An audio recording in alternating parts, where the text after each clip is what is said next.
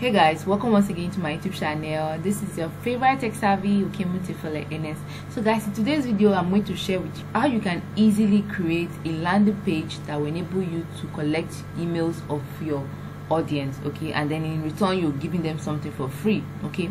So it's more of like a vice versa stuff. You're giving them something for free and then they are dropping their emails for you. So that way you get to reach out to them when you have something to sell to them. Okay so this video is going to be brief short and straight to point. So if you're new on this channel don't forget to subscribe to this channel. And also don't forget to hit the notification button so that youtube will notify you whenever i drop a video on this channel. All right so let's get started. So first of all i want to believe you already know how to access your wordpress dashboard okay?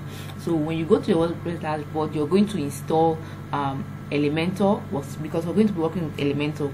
So install Elementor and also you're going to be using Astra Theme. Install it and set it up.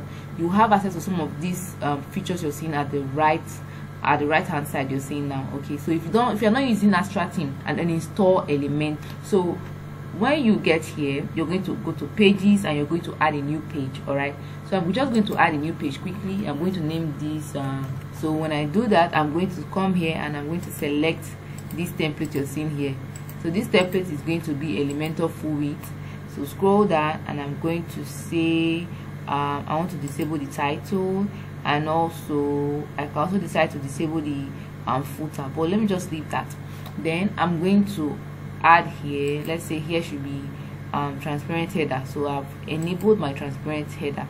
So the next thing i want to do is to come here and publish so as you can see my page has finished publishing. So the next thing i want to do is to what? Edit it with elementor. So i'm going to hold my control key and try to edit with elementor. So elementor is going to open in a new page for us. I'm going to edit with elementor okay? So once you edit with elementor it will take you to your elementor dashboard. That's the work area for elementor where you are going to do all the editing that you want to do all right so guys as you can see right here this particular page has finished loading okay? So what you're seeing now on my heading this um, Flutterwave stuff you're seeing here this is a particular page i actually created because i was trying to replicate um, Flutterwave with my students okay? So don't bother about this all right so what i'm going to do next is to i will come here i'm going to select this button and i'm going to select this full width okay? Or still let me just close here again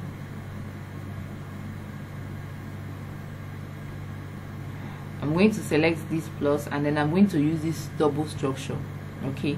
So once I do that I'm going to click on this edit section. So you see this particular middle part I click on it edit section and I'll head over to my advanced then click on advanced option. So I'm going to add some padding. So from the top I want the top to be let's say 200 okay? From the top 200 so i'm going to click display so that i can edit individually. So from the top is going to be 200 and then from the bottom let's say 100 then from the right okay i think it's okay but from the right 200 200 okay? So i'm going to update this. So this particular landing page i want to show you now i have a book i want people to download. So i'm going to um, create this landing page so that whenever they click on the download button it will take them to go and download the ebook or take them to the ebook where they can access the ebook okay? So what i'm going to do here is next thing is this. We're going to head over to style and i'm going to change the background color okay? So let's assume that i want to use a white background okay? So i select my white background here and then this is my background. Then another thing is this. You can see the side when they hover on the white background how do you want it to be? So let's say i want it to be a color that is something like this. So you can see instead of being white when i hover on it the color is going to change. So it all depends on what you want. So you can see now. So that's how it is. So the next thing i want to do is to add my content. So right here i'm going to add a add my image here. So i'll select image drag it towards this end and then i'll go to my device go to my media library to see if i can get the image of the book i want to sell. So this is an example of the book. So let's say i'll put it here and i'll click select. Then the next thing i wish to do is to add my title. So add my title i'm going to drag here and then i'm going to edit it and say wondering why you don't sell online. Okay so the next thing i want to do i will come to start i want to edit this um, particular write-up. So i come to typography and i'm going to change this um, default page to Montserrat okay so i'm using Montserrat and i would love to use something like this. Let's say 45 would do. Then i'm going to scroll down and i'm going to click on this um, transform and then i will use uppercase or let's try normal okay? So this is normal and then i'm going to use line height to adjust how it is. So you can see right here. So i'm also going to use my weight and say i want it to be bold. This is semi bold so i want to be bold or let's say extra bold okay? Then the next thing i want to do is to change the color. So let's say i want to use this kind of color or still i could even use red. I think red will go well. Okay so this is it. And then the next thing we're going to do is to come back to this particular thing you're seeing here at the top right hand side. Click here so you can add more um, functions. So i'm going to click on text editor. Okay so maybe particular write up and say this book okay so you can see what i'm doing now so if you really want to view how it is you can just close this label. So you see how our book looks like. So you see how the whole setting is.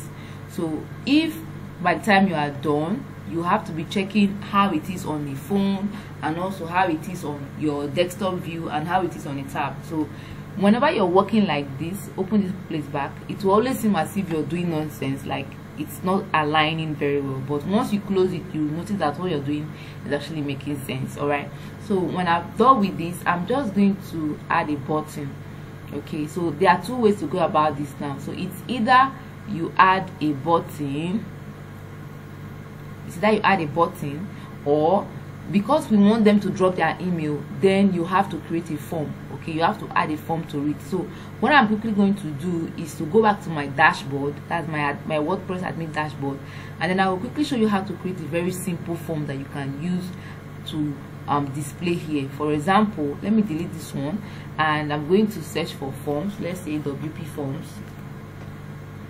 Wp form so i'm going to drag this form here and I'm going to select a form. So you see this form I have created before, which is free load. If I click on it now, you will see that it's going to show here. So they just need to put their email and then click on the download button. It will be available for them to download it. So right here, you can see now, I'm just going to close this work close here and see so you can see once the customer puts in their email and they click on download button they will be able to receive the book asap so i'll just close here back and then let me quickly open. Um remember whatever it is you're doing always update so that it will be reflecting on the main site you're working on okay? So let's head over to our admin dashboard where i'll show you how to create this simple email i just created now okay? So guys here is our admin dashboard so what we're going to do is you need to install a particular plugin called wp form. So you can see it here. I already installed mine. So go and install yours. And then you're going to come to all forms all right? Come to all forms. So you see all the forms i have created before on this particular account. So you see here i have about two forms okay? So if i want to add a new form i just scroll up and i see option to add new.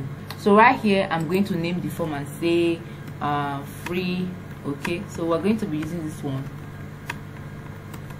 new free download so when i get here what i'm going to do is to click on create blank form. What i'm going to to do here is to come here and i'm going to look for email. So see this email option here?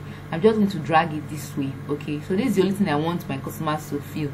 But if i want them to also put their name and all of that i can as well still add so you see this option for name? I will as well drag it to the top here. So you see the customer can drop their name their first and last name then their email as well.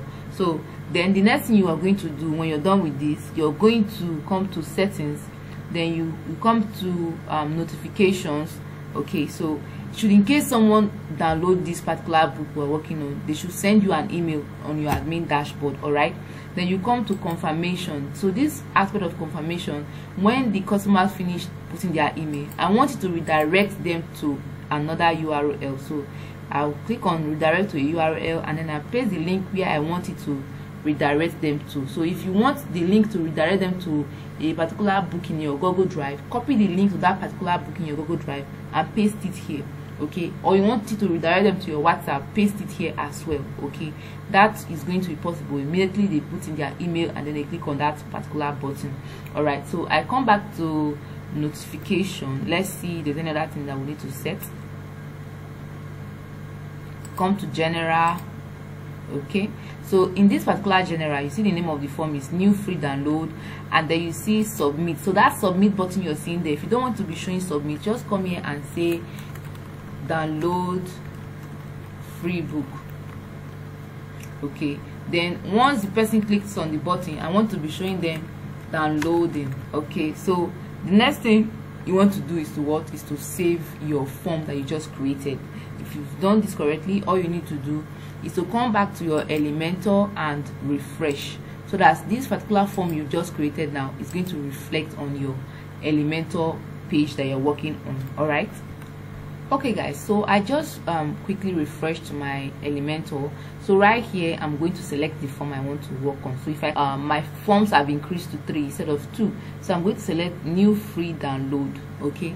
So you see that the form is going to um, display here. You can see now you can see how it is. So what i'm going to do is to let me close this and see if it's going to expand a little bit okay? So you see now you see first name you see last name and all of that so what i'm going to do next is so here's what i noticed. You see this particular form is too short.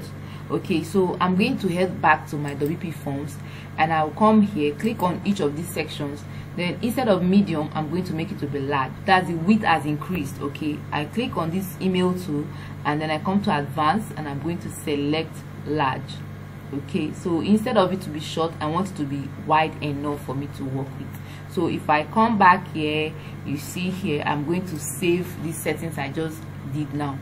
So if i come back to my elementor and refresh again you will notice that it's going to be better okay than the way it was before. So right here i just quickly um refresh. So let's see if the form is going to be wide in um width if the width is going to be long enough okay? So you can see now it's better off than the way it was. So if i close here and view you can see now see how it looks right now okay? So if i click on this download button it's going to refresh. So what am i going to do next? I'm going to close here then come back to my wordpress dashboard. Let's go and view these particular settings that we've just done now. So head over to your pages. You're going to see all pages. Then that particular page we're working on you're going to scroll down and see if okay you can see it here download book. So i'm going to click on it so i can view it and see if what we're doing is actually making sense all right? So you can see now this is how it is on the site. You can see. Okay let me update this so that okay so you can see now. See how it looks right? So this is how it is okay?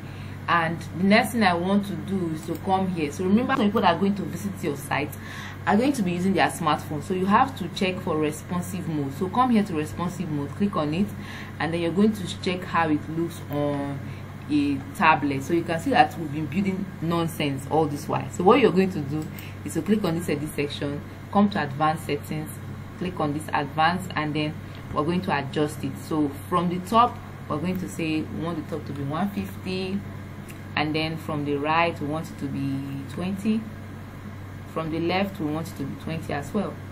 And then from the bottom i want it to be 100 okay so this is how it is on a tab. So always make sure you update each of the settings you're doing update so next thing i want to do is to check on how it looks on the phone. So i think it's even looking more better on the phone so you can see how it is here. So this is how it is on a phone. So you can see that it's even looking more better on a phone. Okay so now let's see if these settings that we've done are actually good. So if i come here fill in my name. My name is okiemute fole. Last name is Fole. My email is Fole Okiemute so if I click on this download button you see now that it's showing me download remember we, did the settings so it's showing me downloading. All right so after it's done it's going to take us to where this book is on my google drive. Okay so you can see now it's taking us to that um, particular file or the link that we actually pasted on that wp form that we created. So this is how you can create a landing page. So guys if you got value from this video don't forget to subscribe to this channel hit the like button so that youtube will show this video to more persons. Also click on notification bell so you'll be at alert whenever i drop a video on this channel. Bye